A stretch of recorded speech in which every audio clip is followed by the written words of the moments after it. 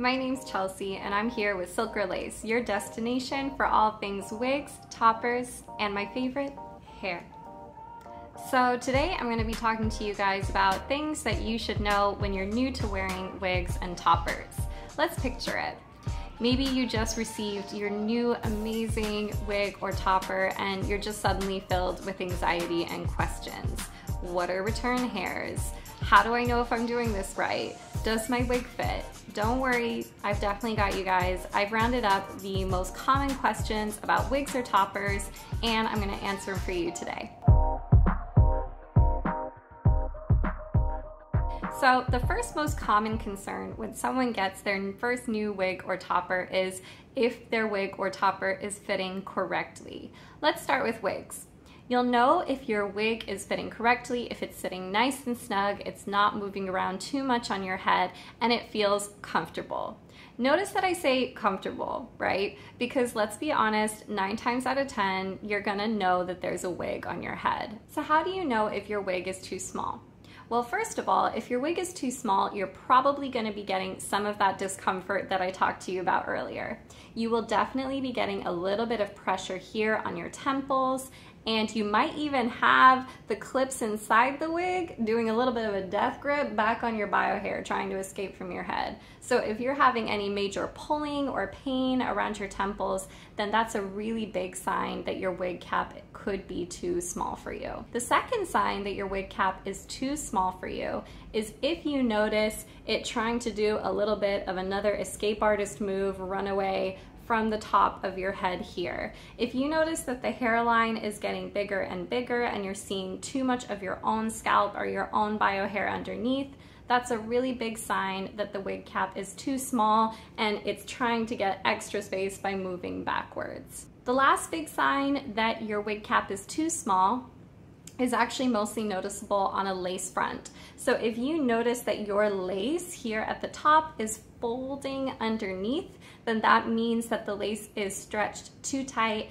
and it means that your wig cap could probably be a little bit too small for you. So how do you know if your wig cap is too big for you?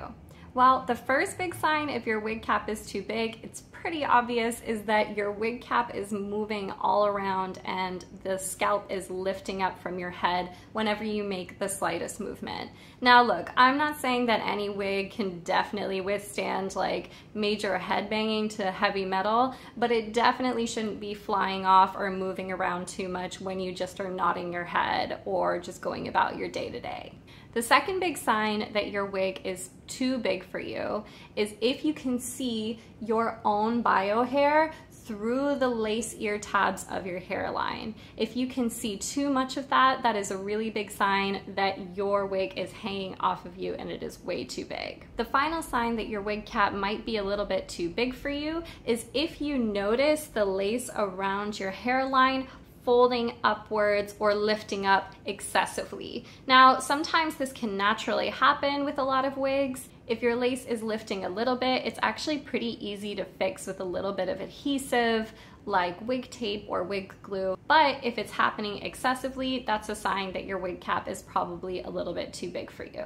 Now, full disclosure, there are some fixes that you can use to rectify these issues. For example, if your wig cap is too big, then you could wear a wig grip underneath, and that might help sort out some of the issues surrounding sizing.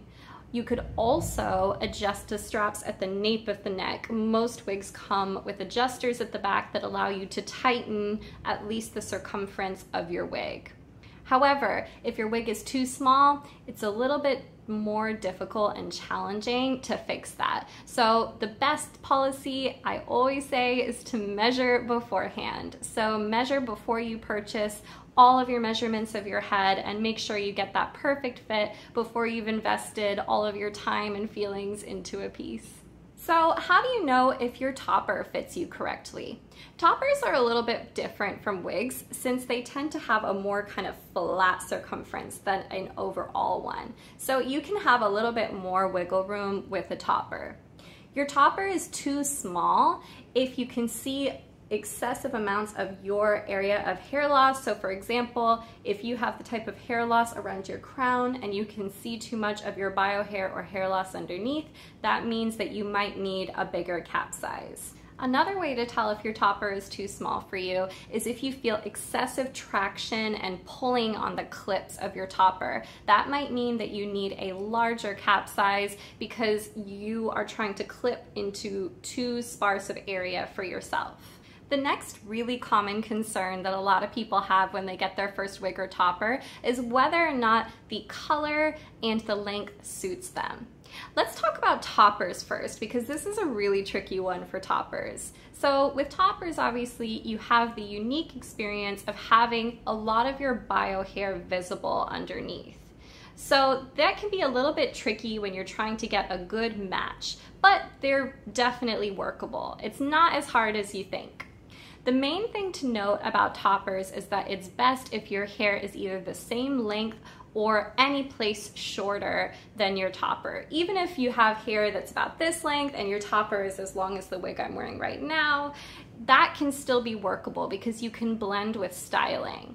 So you can do either waves or curls in the same texture, particularly if you have thinner ends, it will blend more seamlessly with your topper. However, if your hair is longer than your topper, it can be really challenging to get that to blend properly without getting a haircut to your bio hair. If your hair is within the similar shading of your topper, so for example, if you have light brown hair or dark blonde and you're going for a more lighter or ashy blonde on top, that actually is pretty easy usually to blend together with nice styling, right?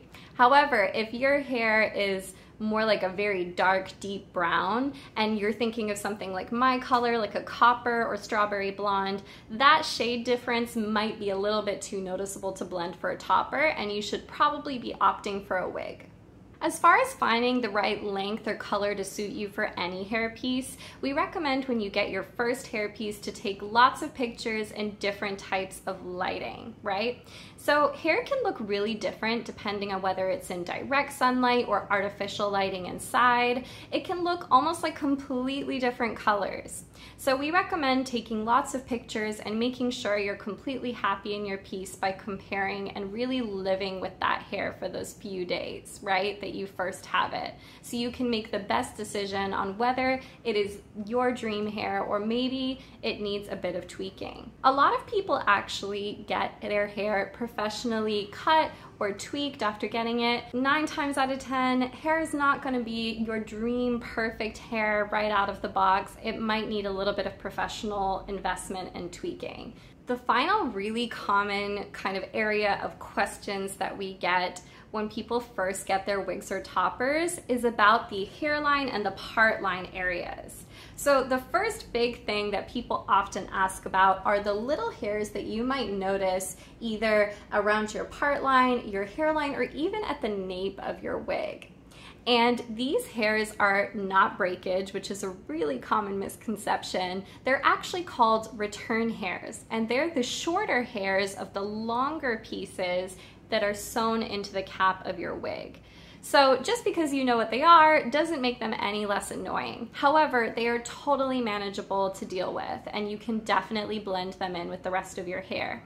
We recommend either using a hot tool like a hot comb to kind of blend the hair seamlessly and make it go in the direction and sit better with the longer pieces that it is with, or we also recommend using a light hair product, like a little bit of hair wax or hair gel. We don't recommend hairspray as much because the alcohol in it can impact the color of the hair. So that's just something to bear in mind. But return hairs are totally manageable and honestly a very normal part of almost every wig I've ever owned. That brings me on to the hairline and part line of wigs. So hairline and part lines of wigs, especially lace tops, tend to take a little bit of extra effort to get them looking really realistic.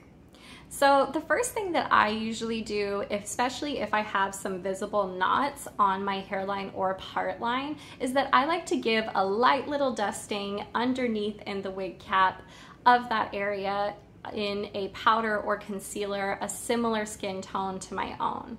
So if you just do that nice and lightly underneath, don't necessarily going in on top, but underneath the cap, then you'll find that you get a much more seamless effect when the wig is actually on your head and those knots are not visible in the least. Another thing that I like to do when I have a lace top wig is that I like to put a little bit of glue just here on the part line to make that transition really seamless. This isn't something that most of our wig brands require, but it's also something just to bear in mind that if you're concerned about that transition looking really natural and flawless, there are lots of options to make that so. This applies the most to silk tops, which is that a lot of silk tops without lace fronts don't have the most natural hairlines and might even hang a little bit forward because of how the cap construction works.